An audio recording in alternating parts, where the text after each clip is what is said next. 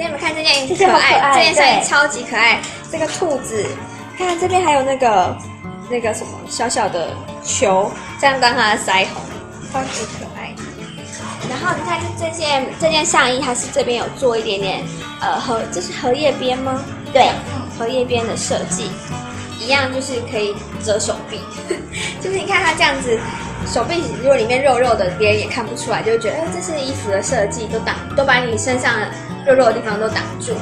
嗯，然后我肚子，肚子的地方，我现在这个大小还 OK，就是还是有一点点弹性，但是如果再大一点的话，它可能就还是会比较勉强。嗯，对，不过它它就是正常的女装，如果我生完我还是会继续穿，所以推荐给大家。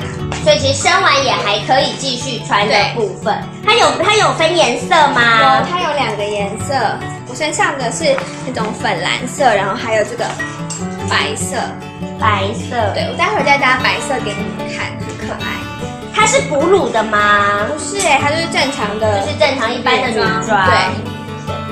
后我刚刚还换了，偷偷换了下身一件裤子，然后现在换是比较适合夏天，就比较浅色的。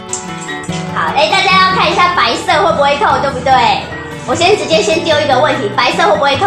不会，好，因为它里面也穿的是黑色内衣的部对，分。但是我这个纱裙没有背心，所以哦，你你是也看不出来，它是一整一整件的。一整件的部分。对，然后我刚刚是搭穿蓝色的时候是搭短裤，然后我现在搭另外一种样子给你看，可以搭纱裙啊，或者是像刚刚大家我一直问的吊吊带裤也可以。对，好，再烧大家一次这个吊带裤，就是搭吊带裤也可以，有没有？